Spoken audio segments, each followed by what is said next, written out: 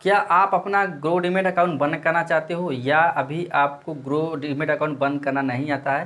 तो ये वीडियो आपके लिए स्पेशल है, क्योंकि आज इस वीडियो में मैं आपको स्टेप बाय स्टेप बताऊँगा कि आप कैसे ग्रो डीमेट अकाउंट को आप बंद कर सकते हो।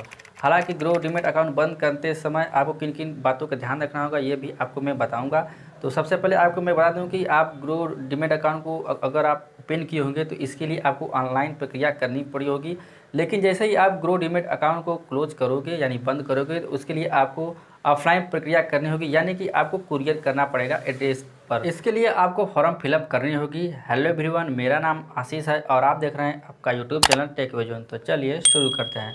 अब मैं आपको ले चलता हूँ अपने मोबाइल के स्क्रीन पर और वहाँ पर मैं आपको लाइव दिखाऊँगा कि आप कैसे ग्रो अकाउंट क्लोज कर अब यहाँ पे आप देख सकते हो मैं आ गया हूँ अपने मोबाइल के स्क्रीन पे और ये ग्रो एप्लीकेशन है। आपको यहाँ पे राइट साइड में कॉर्नर पे अपने प्रोफ़ाइल पे क्लिक कर देनी है। उसके बाद आपको स्क्रॉल करके नीचे आनी है। आपको यहाँ पर हेल्प ई सपोर्ट का आइकन दिखेगा आपको इस पर क्लिक कर देनी है। फिर उसके बाद आपको माई अकाउंट पे क्लिक कर देनी है। फिर उसके बाद आपको नीचे आओगे, देखने को मिलेगा ग्रो अकाउंट आपको इस पर फिर से क्लिक कर देनी है। फिर इसके बाद आपको नीचे से दूसरे नंबर पर देखोगे, लिखा रहेगा I want to close my Groww demat account आपको इस पर क्लिक कर देनी है। फिर इसके बाद आपको यहाँ पे आर्टिकल देखने को मिल जाएगा कि यहाँ पे annual maintenance charge for Groww demat account zero यानी कि यहाँ पे जो मेंटेनेंस चार्ज है, वो ज़ीरो रुपये है, ठीक है?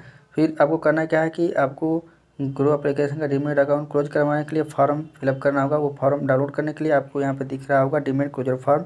आपको इस पर क्लिक करोगे और ये फॉर्म पी में डाउनलोड हो जाएगा। आप अब आप देख सकते हो कि ये अकाउंट क्लोजर फॉर्म डाउनलोड हो गया है। आपको इसे कैसे फिलअप करना है वो मैं आपको बता दूँ। यहाँ पे एप्लीकेशन नंबर छोड़ देनी है। फिर उसके बाद डेट आपको यहाँ पे मेंशन कर देना है। जिस डेट को आप फॉर्म फिलअप कर रहे हो अब यहाँ पे आपको क्लोजर लिखा है एंडिलेटेड बाई आपको यहाँ वी ओ सेलेक्ट करनी है, फिर इसके बाद क्लोजर फॉरवर्ड है तो आपको यहाँ पे बहुत पे सेलेक्ट करनी है, फिर उसके बाद एड्रेस लिखा है नेक्स्ट बिलन तो आपको इसी सेम रहने देना है, फिर इसके बाद डियर सर मैडम है, अगर आपका जॉइंट अकाउंट है तो आपको वीक द शोल्डर करना है, नहीं तो आपको आई पे क्लिक करनी है, फिर इसके बाद आपको अकाउंट होल्डर डिटेल्स लिख के आएगा तो आपको डी पी आई डी यहाँ पर देख सकते हो, ये आठ अंक होता है, और क्लाइंट आई डी अभी हमें पता नहीं है तो चलिए अब मैं आपको बताता हूँ कि क्लाइंट आई डी कैसे मिलेगा।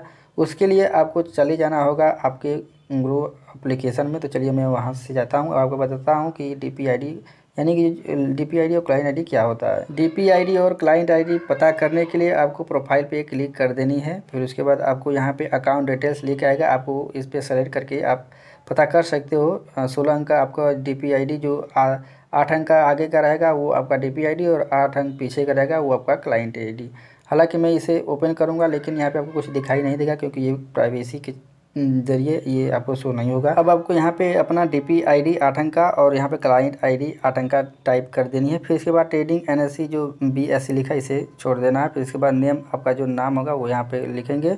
एड्रेस जो होगा, वो आपको एड्रेस लिखना है। सिटी लिखनी है स्टेट और पिन कोड के साथ।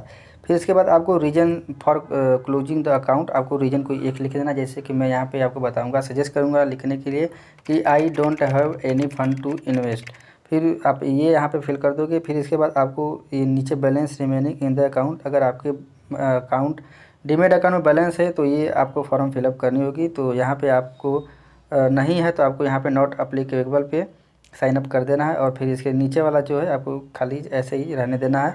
फिर इसके बाद आपको नीचे आना है लिखा यहाँ पे फ़र्स्ट सोल होल्डर तो आपको करना क्या है, आपको नेम लिखना है, फिर सिग्नेचर और बस वैसे ही रख देना है। अब आपको मैं बताऊँ कि यहाँ पे आपको एक एड्रेस बताऊँगा, उस एड्रेस पे आपको इस, ये जो फॉर्म फिलअप करके उसे कुरियर कर देनी तो चलिए, वो जो एड्रेस है, वो है Anthony Deepak Groww has eleven eighty F T road fourth block S T bed Koramangala Bangalore Karnataka five six double zero three four इस एड्रेस पे आपको इस कुरियर को सेंड करना है और इसके बाद आपका अकाउंट क्लोज हो जाएगा।